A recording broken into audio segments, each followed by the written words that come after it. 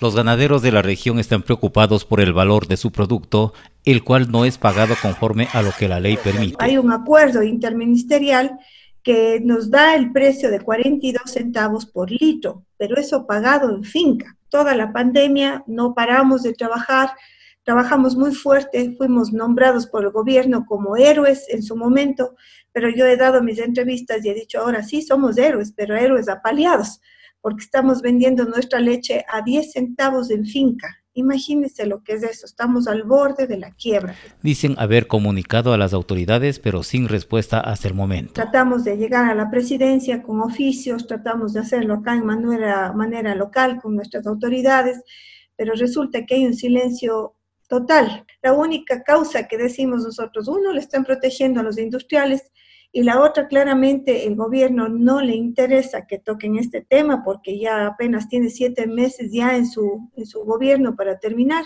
y quieren salir, al menos al ministro de Agricultura, eh, teniéndole una imagen pulcra. Son cientos de miles de personas en el país que sobreviven en torno a esta actividad, asegura. Nosotros tenemos en el, en el Ecuador 250 mil familias de medianos y pequeños productores, eso multiplique por cuatro personas por familia, hablamos de un millón de personas que estamos siendo afectadas. Agréguele que al no poder tener un precio de sustentación, no vamos ya a poder pagar nuestros gastos básicos de finca y por lo tanto muchas, eh, muchos ganaderos han hecho este momento eh, recortes, han dejado ya sin empleo a muchos empleados, valga la redundancia. El problema radica en que algunos industriales estarían usando suero en lugar de leche. El problema, hay que decirlo de frente, está en el uso del suero.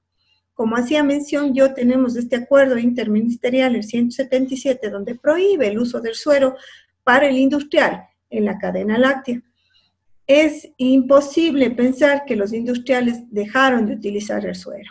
No de todos los industriales, hay que decirlo. Haga cuenta la relación que tenemos.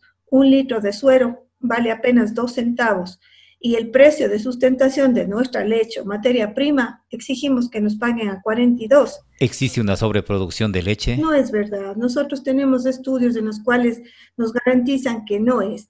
Lo que hay es una baja pequeña, un porcentaje, digo usted, de un 20% posiblemente de las ventas del industrial por toda esta crisis mundial que estamos viviendo por el COVID-19.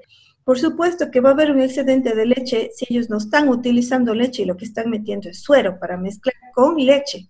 Entonces es obvio. Agregue que ha habido contrabando y lo hay, tenemos pruebas que está entrando leche de, Colombia. Tenemos fotos de tanqueros de leche eh, entrando de Colombia 15 centavos. ¿Cómo compite usted?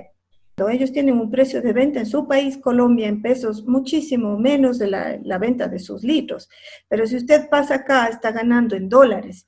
Se justifica el negocio 100%. Piden control al Estado. Nosotros denunciamos en Carchi que hubo un tanquero que está subiendo leche de cañar a Carchi. Imagínense las distancias, son casi dos días que recorre un tanquero con 30 mil litros de leche pero el negocio usted dirá, no es rentable subir a tanta distancia con leche. Claro, es leche barata, obviamente que ellos compran a 10, a 15 centavos y van y venden en Carchi a 25 centavos. Ya hay ganancia. Pero lo que nosotros presumimos que al regreso esos tanqueros están trayendo suero de todas las zonas queseras del norte. Muchos productores grandes y pequeños tienen temor de denunciar. Porque vivimos sometidos a lo que el industrial nos quiere manejar y hacernos de las suyas. En el caso de los intermediarios, que son quienes recogen nuestra leche en las propiedades en finca, sí pasa eso, y hay que decirlo. Por, citar un ejemplo, usted quiere, eh, quiere denunciar a X señor que está llevando y pagándole en menos cantidad.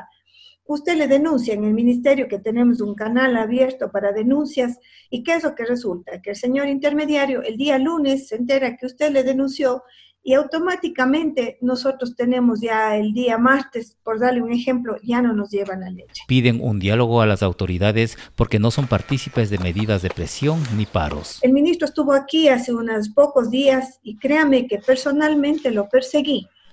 Y el ministro no nos dio tiempo, él está protegido, él no quiere que, que tenga ningún inconveniente ante su figura y su imagen.